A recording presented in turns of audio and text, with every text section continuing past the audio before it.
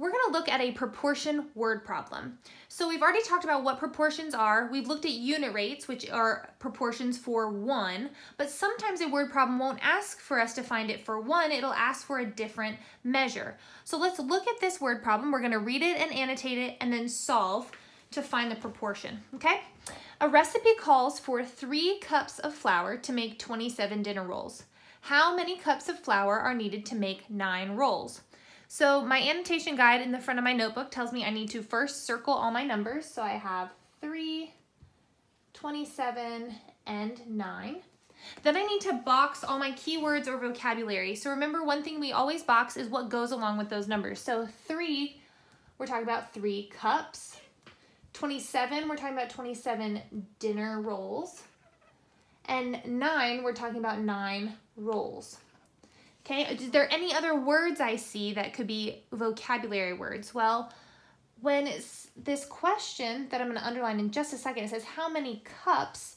Well, I had cups up here, so that seems pretty important to me. I'm going to box cups. I don't see any other vocabulary words. My last step for annotations is underlining my question. How many cups of flour are needed to make nine rolls? All right, so this is a proportion problem. So the first thing I do is set up my words. Okay, so it seems like I have cups of flour. So I'm gonna put cups. And the cups of flour is needed to make a certain number of rolls, dinner rolls. So I have cups for rolls. All right, now I'm gonna set up my skeleton.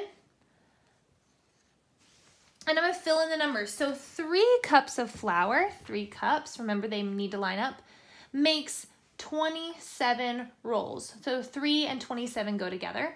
And the other number they give me is 9, and it's 9 rolls. So I'm going to put my 9, making sure that it matches up with rolls. And the question is asking me how many cups of flour. So this is what we don't know. That's why that one's blank.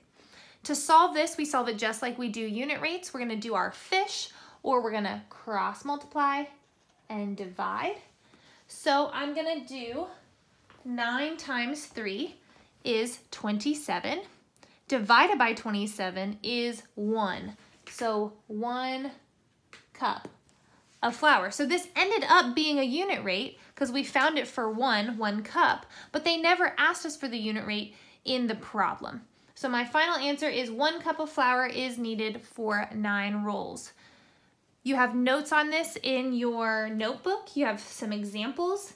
You also have examples for shapes in there as well. So look back at your notebook if you need to know how to solve proportions in word problems.